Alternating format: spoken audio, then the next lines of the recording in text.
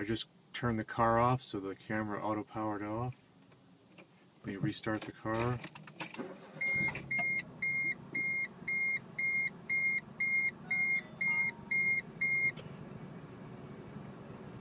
Camera auto turned on, started recording. Picked up the GPS.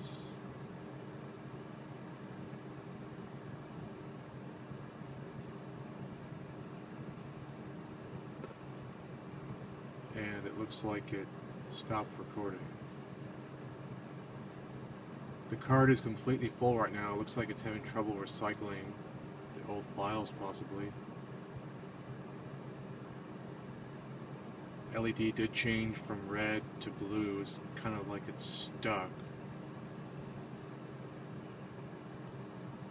I'm seeing uh, right errors pop up on the screen.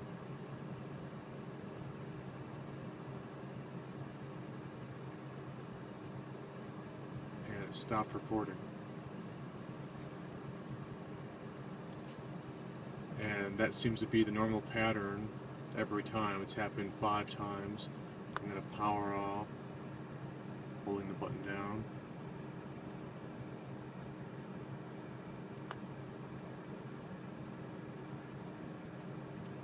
Turn it back on.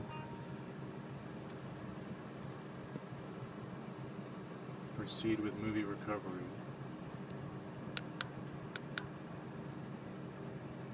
Yes. Movie recovery failed. So this keeps happening over and over again.